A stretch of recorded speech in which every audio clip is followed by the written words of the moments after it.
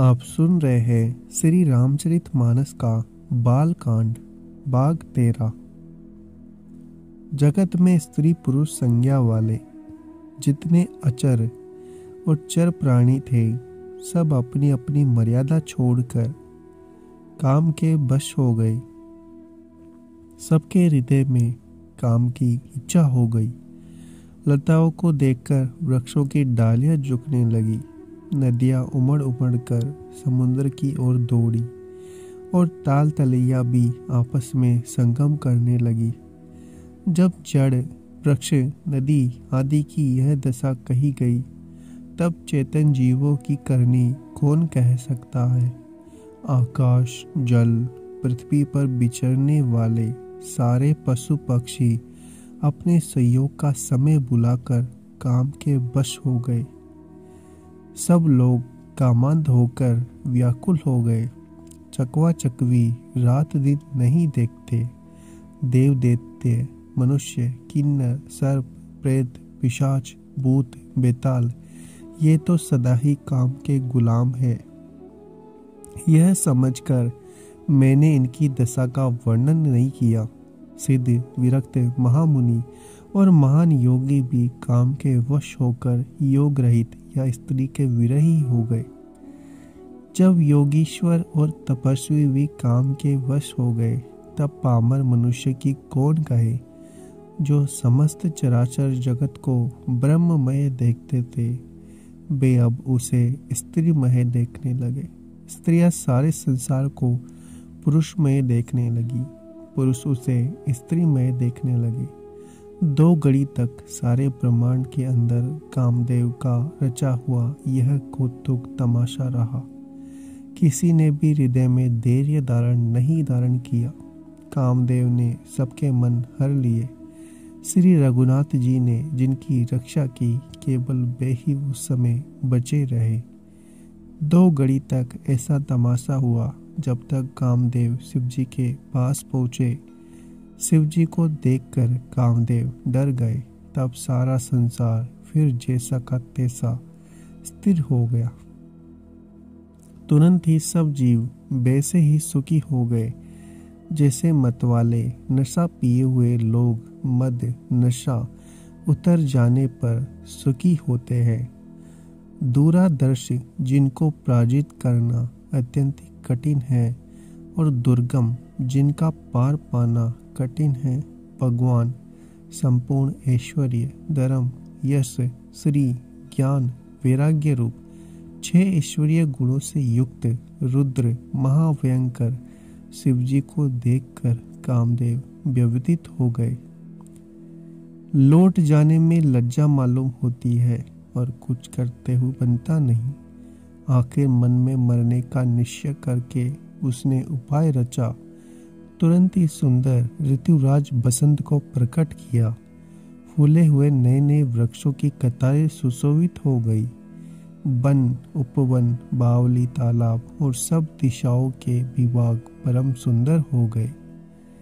जहाँ तहाँ मानो प्रेम उमड़ रहा है, जिसे देखकर मरे मनों में भी कामदेव जाग उठा। मरे हुए मन में भी कामदेव जागने लगा। वन की सुंदरता कहीं नहीं जा सकती। काम रूपी अग्नि का सच्चा मित्र शीतल मंद सुगंधित पवन चलने लगा। सरोवरों में अनेकों कमल खिल गए, जिन पर सुंदर बोरों के समूह गुंजार करने लगे। राजहंस, कोयल और तोते रशीली बोली बोलने लगे और अप्सराएँ गा गा कर नाचने लगी। कामदेव अपनी सेना समेत करोड़ों प्रकार की सब कलाएँ उपाय करके हार गया। पर शिवजी की अचल समाधि न डिगी तब कामदेव क्रोधित हो उठा। आम के वृक्ष की एक सुंदर डाली देखकर मन में क्रोध ऐसा भरा हुआ, कामदेव उस पर छड़ गया। उसने पुष्प धनुष पर अपने पाँचों बाण चढ़ाए। और अत्यंत क्रोध से लक्ष्य की ओर ताक कर उन्हें कान तक तान लिया। कामदेव ने तीक्ष्ण पाँच बाण छोड़े जो शिव जी के हृदय में लगे। तब उनकी समाधि टूट गई और वे जाग गए। शिव जी के मन में बहुत क्षोभ हुआ। उन्होंने आँखें खोलकर सब ओर देखा। जब आम के पत्तों में छिपे हुए कामदेव को देखा तो उन्हें बड़ा क्रोध आया, जिससे वे तीनों लोग काँप उठे। तब शिव जी ने तीसरा नेत्र खोला। उनके देखते ही कामदेव जलकर भस्म हो गया। जगत में बड़ा हाहाकार मच गया। देवता डर गए, दैत्य सुखी हो गए। भोगी लोग काम सुख को याद करके चिंता करने लगे। साधक योगी निष्कंटक हो गए। योगी निष्कंटक हो गए। कामदेव की स्त्री रति अपने पति की यह दशा सुनते ही मूर्छित हो गई। रोती, चिल्लाती और बाती बाती से करुणा करती हुई वह शिव जी के पास गई।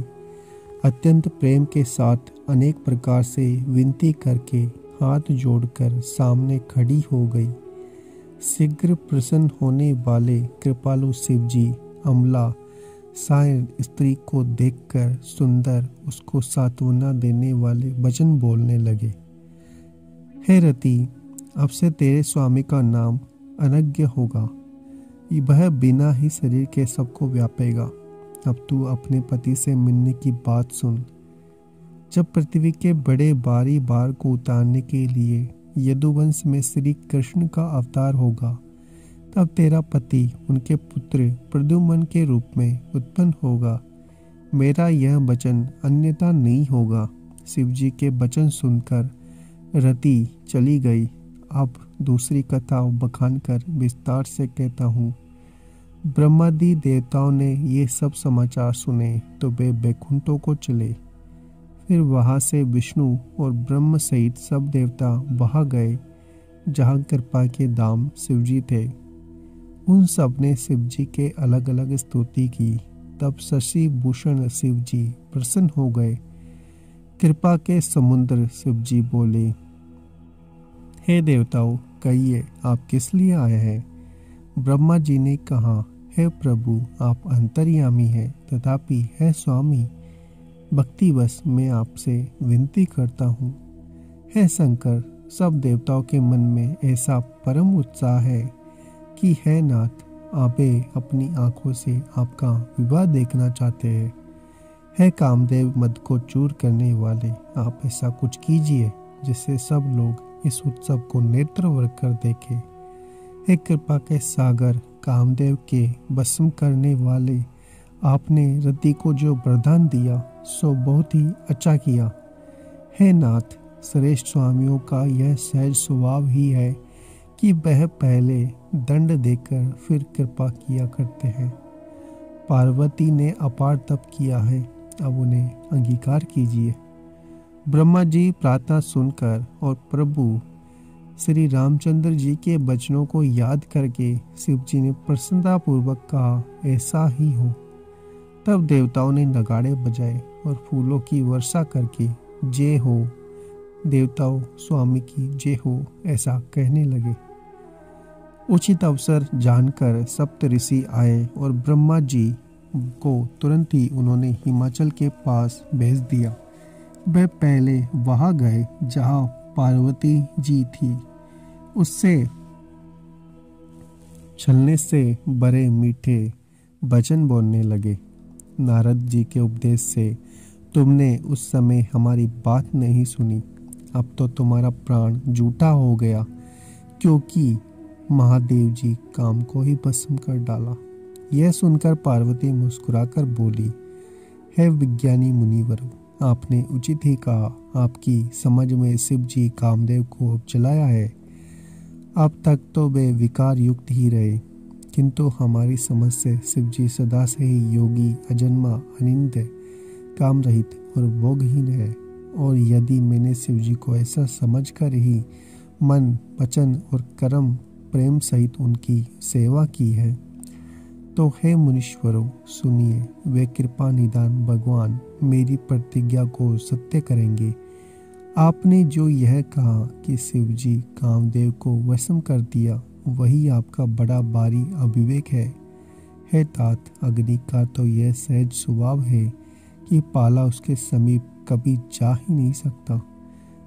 जाने पर वह अवश्य नष्ट हो जाएगा। महादेव जी और कामदेव के संबंध में भी यही न्याय समझना चाहिए। पार्वती जी के वचन सुनकर और उनका प्रेम तथा विश्वास देखकर मुनि हृदय में बड़े प्रसन्न हुए। वे भवानी को सिर नवाकर चल दिए और हिमाचल के पास पहुँचे। उन्होंने पर्वतराज हिमाचल को सब हाल सुनाया। कामदेव का भस्म होना सुनकर हिमाचल बहुत दुखी हुए। फिर मुनियों ने रति के वरदान की बात कही। उसे सुनकर हिम्बा ने बहुत सुख माना। शिव जी के प्रभाव को मन में विचार कर हिमाचल ने श्रेष्ठ मुनियों को आदर पूर्वक बुला लिया। उनसे शुभ दिन, शुभ नक्षत्र और शुभ घड़ी शोधवा कर वेद की विधि के अनुसार शीघ्र ही लगन निश्चय कराकर लिखवा लिया। फिर हिमाचल ने वह लगन पत्रिका सप्त ऋषियों को दे दी और चरण पकड़कर उनकी विनती की। उन्होंने जाकर वह लगन पत्रिका ब्रह्मा जी को दी। उनको फटते समय उनके हृदय में प्रेम समाता नहीं था। ब्रह्मा जी लगन पढ़कर सबको सुनाया। उसे सुनकर सब मुनि देवताओं का सारा समाज हर्षित हो गया। आकाश से फूलों की वर्षा होने लगी, बाजे बजने लगे और दसों दिशाओं में मंगल कलश सजा दिए गए। सब देवता अपने अपने बाती बाती के वाहन और विमान सजाने लगे। कल्याणप्रद मंगल शकुन होने लगे, अप्सराएँ गाने लगी। शिवजी के गण शिवजी का श्रृंगार करने लगे। जटाओं का मुकुट बनाकर उस पर सांपों का मोर सजाया गया। शिवजी के सांपों के ही कुंडल और कंकड़ बनाए गए।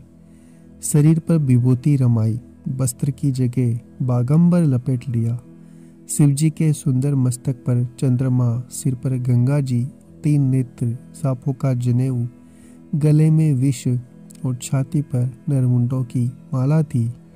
इस प्रकार उनका बेस अशुभ होने पर भी कल्याण के दाम और कृपालु है। एक हाथ में त्रिशूल और दूसरे में डमरू सुशोभित है। शिवजी बैल पर चढ़कर चले। बाजे बज रहे हैं। शिवजी की देखकर देवांगनाएँ मुस्कुरा रही हैं और कहती है इस वर के योग्य दुल्हन संसार में नहीं मिलेगी। विष्णु और ब्रह्मा आदि देवताओं के समूह अपने अपने वाहनों पर चढ़कर बरात में चले। देवताओं का समाज सब प्रकार से अनुपम था, पर दूल्हे के योग्य बरात न थी। तब विष्णु भगवान ने सब दिक्पालों को बुलाकर हंसकर ऐसा कहा सब लोग अपने अपने दल समेत अलग अलग होकर चलो।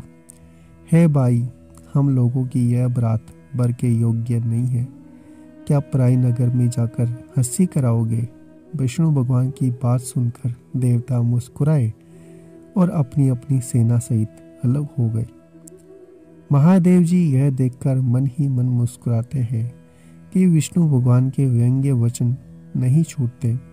अपने प्यारे विष्णु भगवान के इन अति प्रिय वचनों को सुनकर शिव जी ने भी ब्रग जी को बेचकर अपने सब गणों को बुलवा लिया।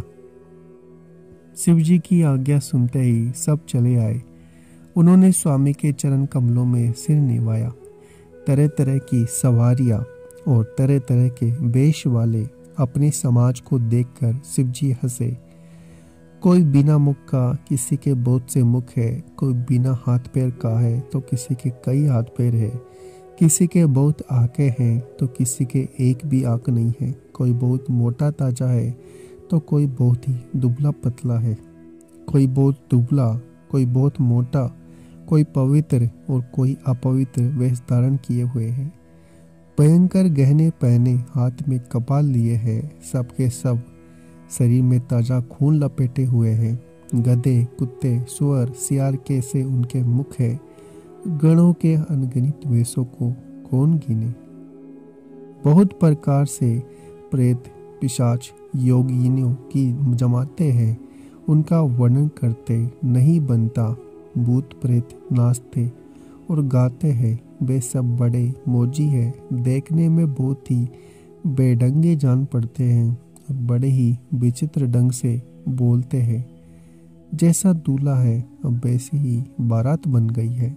मार्ग में चलते हुए बाती बाती के कौतुक होते जाते हैं। इधर हिमाचल ने ऐसा विचित्र मंडप बनाया, जिसका वर्णन नहीं हो सकता। जगत में जितने छोटे बड़े पर्वत थे, जिनका वर्णन करके पार नहीं मिलता, तथा जितने वन समुद्र, नदियाँ और तालाब थे हिमाचल ने सबको नुतावेज दिया। वे सब अपनी इच्छा रूप धारण करके, सुंदर शरीर रूप धारण कर, सुंदर स्त्रियों और समाज के साथ हिमाचल के घर आए। सभी स्नेह सहित मंगल गीत गाते हैं। हिमाचल ने पहले से ही बहुत से घर सजवा रखे थे। यथा योग्य उन उन स्थानों में सब लोग उतर गए। नगर की सुंदर शोभा देखकर ब्रह्मा की रचना चातुरी भी तुच्छ लगने लगी थी। नगर की शोभा देखकर ब्रह्मा की निपुणता सचमुच तुच्छ लगती है। वन, बाग, कुएँ, तालाब, नदियाँ सभी सुंदर है। उनका वर्णन कौन कर सकता है? घर घर बहुत से मंगल सूचक, तोरण और ध्वजा पताकाएँ सुशोभित हो रही है। वहाँ के सुंदर और चतुर स्त्री पुरुषों की छवि देखकर मुनियों के भी मन मोहित हो जाते हैं।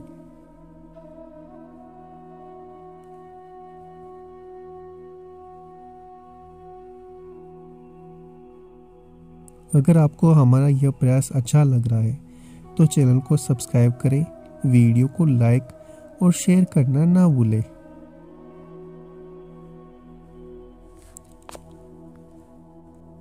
आप सुन रहे हैं श्री रामचरित मानस का बाल कांड बाग तेरा। जगत में स्त्री पुरुष संज्ञा वाले जितने अचर और चर प्राणी